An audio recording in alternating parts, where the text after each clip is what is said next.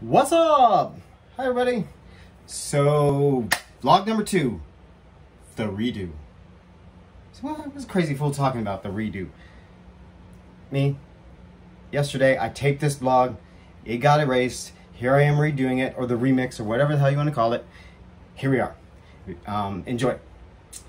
I, it's interesting, I, I'm kind of glad that we're doing this redo, because some thought processes have changed, and you know, some every day is a little bit different. So it's actually going to be a very different vlog than what I taped yesterday. So what are we talking about today? Oh, moaning and groaning. No, I've decided that I will update on some of the events in my life, the big three that I talked about in the first vlog, my big move, my uh, se relationship separation, medical even at, at some point. Um, but I'm not going to dwell on it. Uh, there's some other stuff going on in my life not all rain clouds and doom and gloom, though it feels like that this year. I'm sure it feels like that for most of you this year because this year has really sucked for everybody. And I'm coming to realize that that's, it's, I'm not, in, I'm not alone in this. I'm not alone in dealing with and tackling more than I can handle, but yet every day I handle more and more and more. And I'm coming out okay. Um, there's a GIF that I sent the Snax crew that's uh, Spider-Man dodging lightning bolts. And I said, that's it. That's me. That's my mantra now. I'm going to keep dodging those uh, lightning bolts until I get strong and superhero, and there you go. Um, so I'm not going to dwell on it anymore. Uh, talking to the Snax crew last night was eye-opening because they're very honest and they're very, they don't pander to my doom and gloom and moan and groan. They challenge me with very specific, um, you know, internal questions. You know, what is really going on under there? And for uh, one of them, a couple days ago, identified that I just didn't want to change. And that was so very true. But the more I think about it is why? Why don't I want to change? It's because it's comfort versus, you know, something new, something, uh, you know, I'm, I'm afraid. I'm afraid of the change. Um, but then another one challenged me last night with asking me, am I just making excuses to avoid the change? Very insightful because probably, yes. So I'm learning to accept what is, to look at what um, I'm dealing with in what may be instead of what can go wrong. Um, and putting one foot forward and just challenging myself. Um, it's, a, it's about me and the relationships around me that, that are all going through change.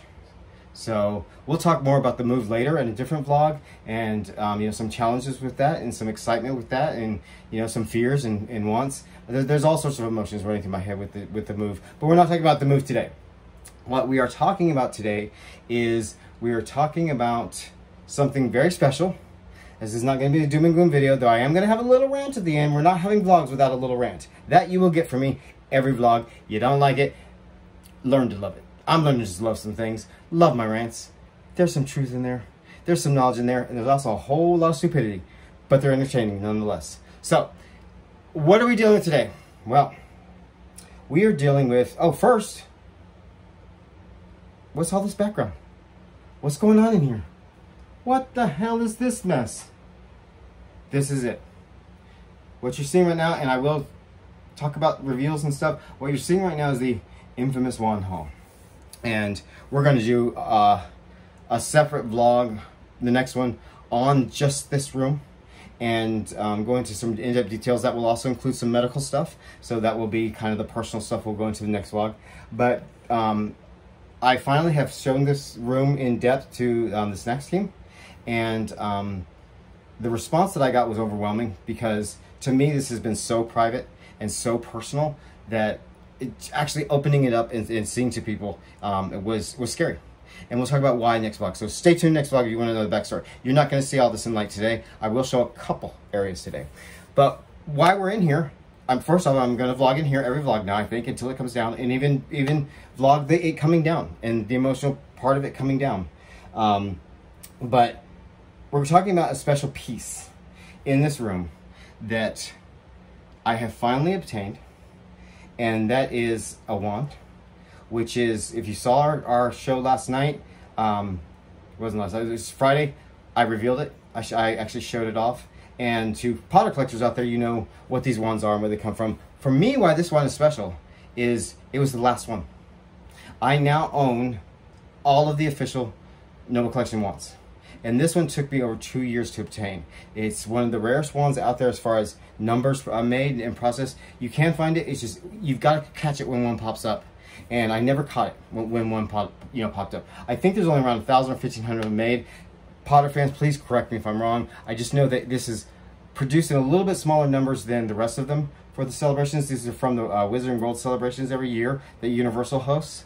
And um, I'm I'm happy. I'm so happy to have it. I'm so happy to have it before this room comes down, so I can kind of complete the look and take some pictures of ideas that I have. This room is not finished, and it sits as a moratorium of when I got the news that I was going to move. I'm not going to work on it anymore. I'm going to leave it in the state that is that it's at because I'm going to hold those ideas to mold into new ideas when I get to uh, you know a new spot to put it up, and um, it will change, and it will there will be different reasons to put up different things and and it, it's ever evolving. This room is is not just putting stuff on the walls or collecting things. There's a lot that goes into it. Blog number three.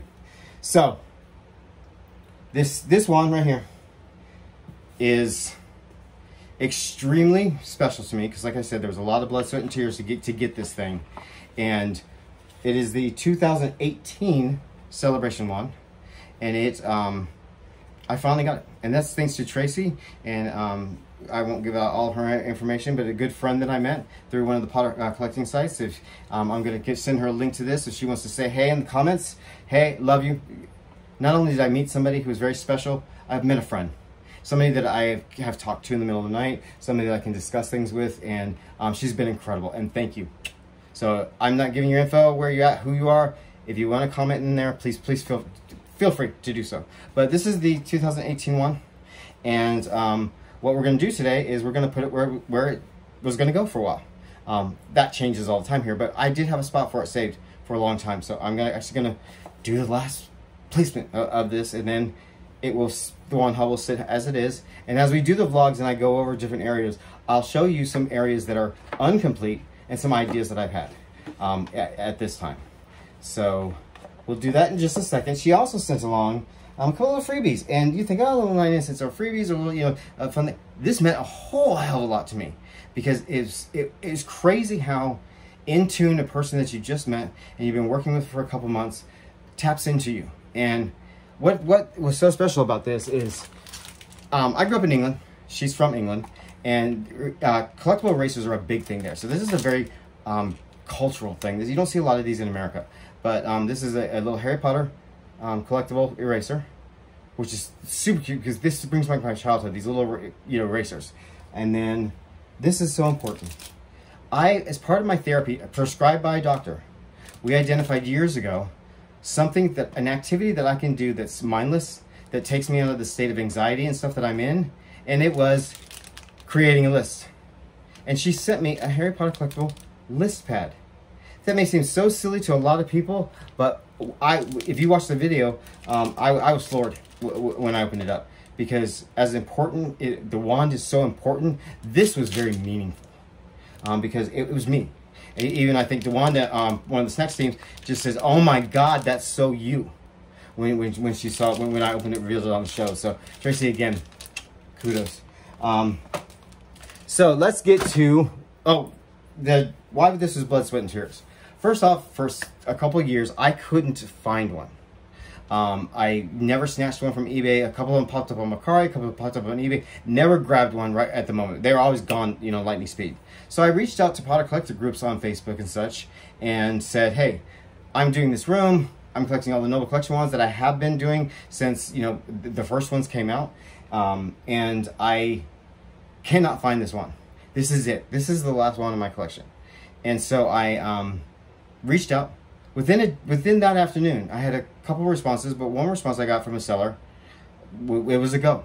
And we were communicating, and then there was a little bit of you know uh, complications with with timing, and then I was kind of screwed over, and that was really disappointing to me because this was a member of our collecting community who basically shut down and you know kind of blocked the whole conversation and then i saw that the same particular wand that he was selling um, on eBay. And you know, whatever. Joke's on him because I made a friend. I made a better transaction. I didn't deal with any shadiness going, going forward. What we did deal with going forward was this hit the mail service, international mail service, right during this whole COVID and postal service uh, crisis. The U.S. Postal Service is a mess. There have been several um, uh, policies that were already instated, you know, regardless of what you see on the news, regardless of, oh, we're, you know, we, we're not going to do any policy. Guess what? The policy is already done. This is the rant, by the way.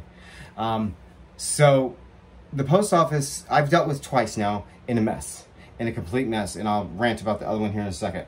But what we found was, is this went to customs in Chicago, and all of a sudden it was just held.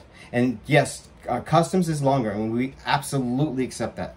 But this particular package went kind of strange on the radar. It, it, it, went all over the place. It was tracking in LA, it was tracking in Chicago, then it stopped tracking altogether. My tracking uh, erased from the uh, tracking system. Um, Tracy had to put out a call to the Royal Air, Air, thank you for doing so, to find out you know what was going on. And then randomly, two months later, out of the blue, it appears at my doorstep. And not only did it just randomly appear at my doorstep, I got a notification that morning that it was at the wrong zip code and therefore couldn't be delivered. The post office issued me that warning. Well, it showed up at my house after I'm ranting and raving at the post office all day long. And then I look at the package, there was no missed zip code. There was nothing wrong on the address on that package. They, the post office, issued that zip code in some little sticker that they did. But as far as the shipping label and all of that that's on there, it was not wrong. So they caused all of this extra tension, all this extra drama that was completely unnecessary because I could have just held back and waited through the customs process to be slow and absolutely handle. But instead, we got chaos after chaos after chaos with for no reason. There was no reason for it whatsoever. So that's part one of you know, the post office being a mess. Part two is I am selling a lot of stuff on Mercari to downsize and get get ready for the move and I sent out six packages on the same day at the same location, um, and they all, none of them scanned. None of them went into the system, and I found out that this is starting to be a very commonplace um, for, for packages and first class mail. And so I had to play the dance because I was the seller with Mercari and with these um, uh, five buyers, it's five, five packages. Um, and every day I was watching and I was updating. Well, the first one about four days later, randomly appeared in a tracking. Their tracking updated. And then they got the out for delivery, the delivery. The tracking only updated on the day of delivery. And this was only Fullerton, California, which I could drive there in an hour and a half. And so when that happened, the next day, the next one updated. Same pattern. The third one, the fourth one. They all, in, in complete succession, they all updated. Post office, out for, out for delivery, delivery. My number five I started dealing with some big drama. And this was Mercari created, not me. Mercari all of a sudden jumped into the picture and said, at the 10th day, we're going, we have to issue your buyer refund. And I'm like, whoa.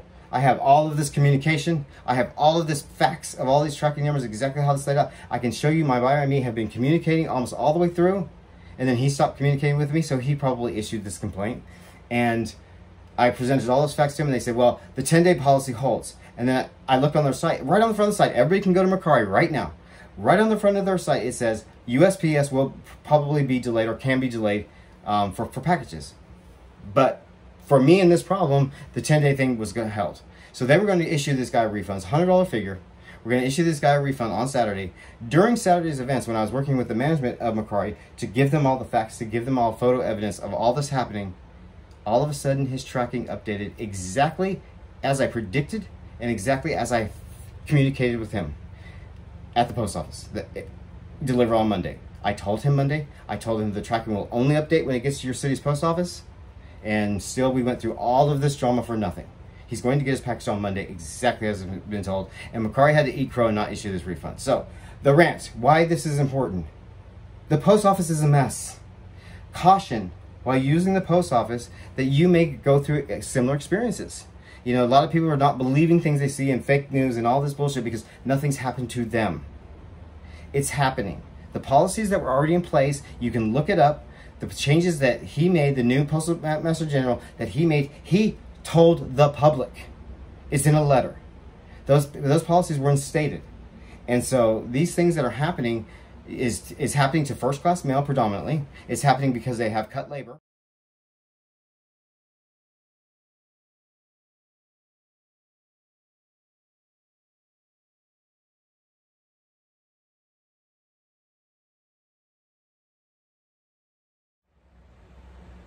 What can you do?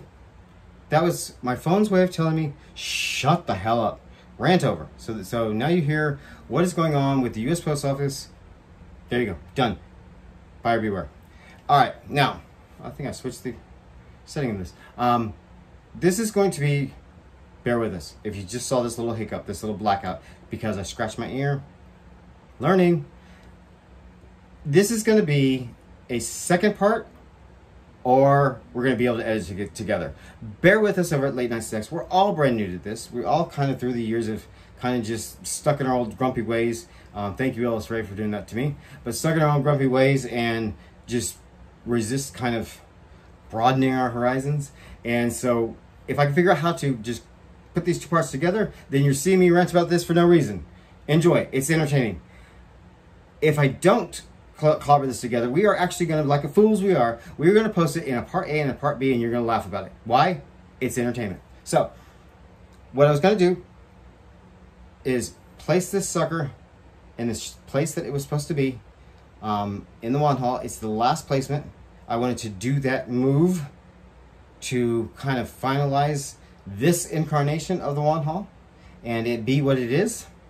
And then I'll show you, like I said earlier in the vlog, I'll show you some really completed areas that I'm very proud of. I will show one at the end of this video, or I will show you, um, and then after that, I'll show you some incomplete areas and some ideas I had. Um, if you want to see more, if you want to see something specific, feel free. This is this is to you to hear my gripes, complaints, to learn something, to laugh, to cry, whatever. But this is special to me, so I will brag about it all day long. I will answer questions about it whenever you want, um, or I'll be proud of it and, and walk away from it, and we'll start anew whenever it can be resurrected. So, well, I don't touch your ear. Okay, so what I have decided though, based on this little technical glitch, I hope we don't put nothing in the title. This is not clickbait. I did not false advertise. We just decided on something a little bit more fun. You will see the placement of this wand on Facebook Live. Stay tuned for uh, dates and times. Those of you that may or may not be watching this video later in the future and can't stumble across the Facebook Live, we will post a video of that on the channel as well a little bit later, some sometime later. We'll post the actual video of the Facebook Live. Um, but this is a way so that you can um, you know, I guess it's kind of clickbaity. I don't know. I don't believe in all that mess. But um, it, it's, it's a way for you to be introduced to the channel if you're tuning in for different reasons and see what we're all about. We're just three, you know, four people, five people with our tech guy that just sit around, we blabber, we talk about all, all sorts of different stuff. We really look like fools doing it because, you know, we're just throwing ourselves out there. What, you know, what the hell? But for us, we enjoy doing it. And I think that's kind of infectious. I think people, can, you know, kind of uh, see who we are. We're, we're, kind of raw about that. We're very, very new, so it's real, real ghetto, real, real low tech. Enjoy. Why? It's entertainment. Um, but we're getting better. We're trying some new things, and this vlog channel is one way to try those new things. So again, we will post the date and time of the Facebook Live if you're interested in seeing the placement of this one. It's just going to be very quick Facebook Live. If you join us, you can ask questions, whatever. If you just want to watch, that's fine too. If you don't care, then watch one of our other videos. But check out our site. Um, subscribe if you want to. Uh, please, you know, uh, make a comment. Our channel is about engagement. Enjoy. We, you know, we talk about um, entering the conversation. We want people to engage. We want people to talk about things. We want people to debate, people to laugh, cry, you know, celebrate together.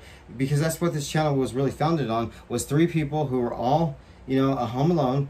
And then our, our, our fourth who was in another podcast with me, our stream with me. She she uh, jumped right back in and joined us. Then we got our tech guy, and things just really rolling along. And what we found is a lot of things just internally just hadn't changed. We were about engagement. We were just talking and we do some special shows now. We do we'll do anything. We do all sorts of different entertainment. Right now, our big success is, is recovering RuPaul. The, the you know the whole RuPaul craze that's going on right now. Those are a lot of fun, um, and it's fun to see you know different people from all across the the net uh, joining us on those. Um, we talk about American Horror Story because that's where that's where we all met is through um, uh, Mary Moody's channel on uh, American Horror Story. We talk about other horror films. We do trivia. We do unboxing. We do just stupid nights where we just all just sit around and just act, act silly. One of those may be coming up soon. So check out our site. Check out our YouTube channel. Like, subscribe, comment. Uh, tell us we're stupid. Whatever. Engage. It's about engagement. So this is hold on till later. What we are going to do is we are going to um, show. I'm going to have to do a little tricky because it's going to be. Uh, change my mind.